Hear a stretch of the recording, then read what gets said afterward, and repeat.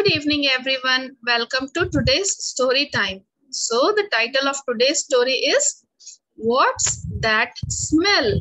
The author of the story is Ashwita Jayakumar and illustrator is Tariq Aziz. I really liked it because I'm a microbiologist and the story talks about microbes towards the end. Okay, so let's see what this is about. It's a level 3 storybook by storyweaver.org.in. So there is a family who went somewhere for a holiday or something. So Tara and her family are back home. It's good to be back, isn't it, Tara? says Ma. Tara nods. I am hungry. Madhav rubs his stomach. Oh, also hungry, he says loudly, the younger one, Tara and Madhav. We have milk, eggs, bread, and vegetables in the fridge, says Ma. I will cook dinner, says Pa. Pa, can you make fried rice? asks Tara. Fried rice, Madhav echoes. He likes, both the kids like fried rice.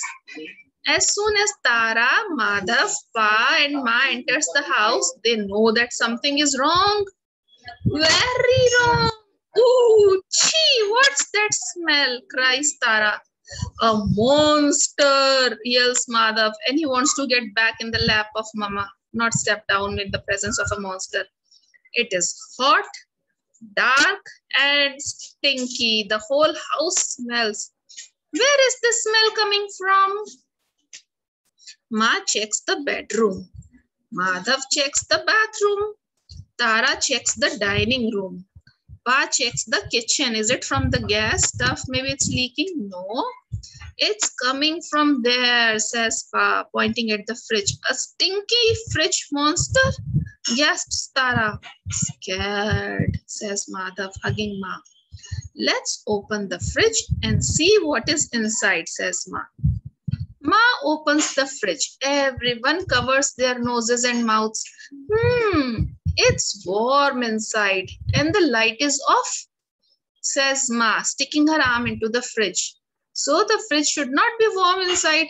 And when we open it, normally a light goes on. But it's not happening. What happened? asks Tara. The fridge stopped working some time ago, Pa explains. Without the cold air, everything is spoiled, says Ma glumly. Has the milk gone bad? asks Tara. Yes, can you smell how sour it is? asks Ma. Milk needs to be kept cold to stay fresh, says Pa. Has the bread gone, gone bad? asks Tara. Yes. Do you see that green stuff? That's mold, says Pa. It grows on the bread, so green mold. It's growing fuzzy, says Madhav curiously. Don't touch it, says Pa. You will fall sick if you eat it. Have the vegetables gone bad too? asks Tara sadly. Yes, they are rotten, says Ma. We can't eat them.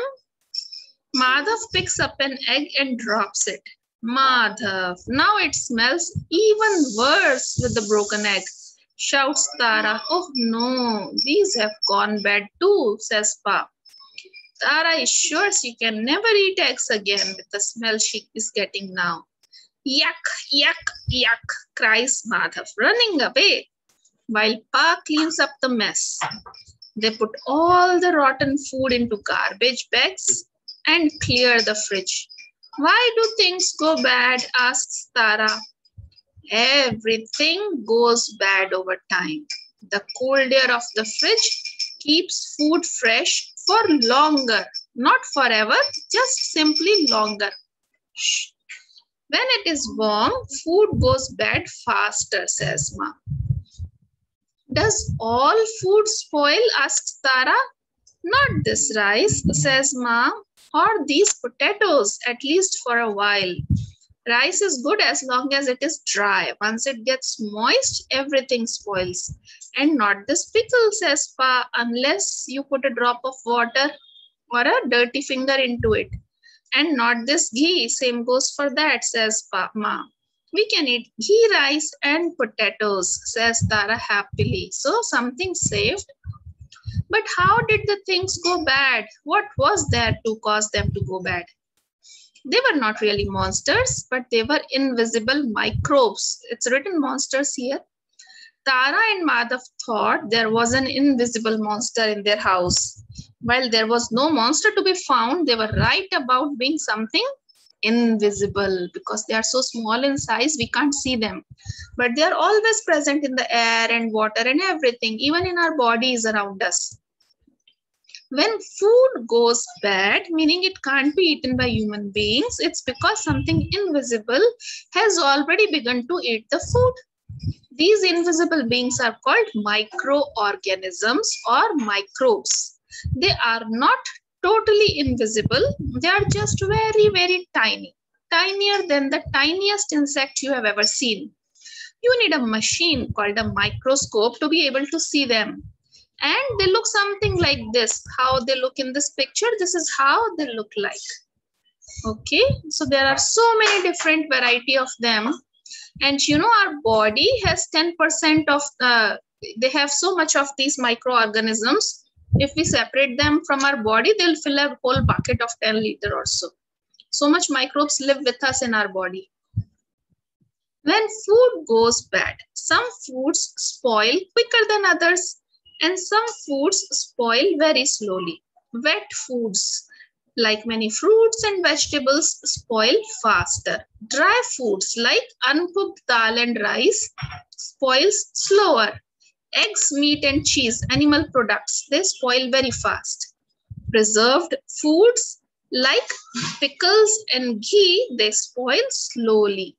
Packaged foods like biscuits and sweets, they spoil the slowest. Okay but all the all the microbes are not bad.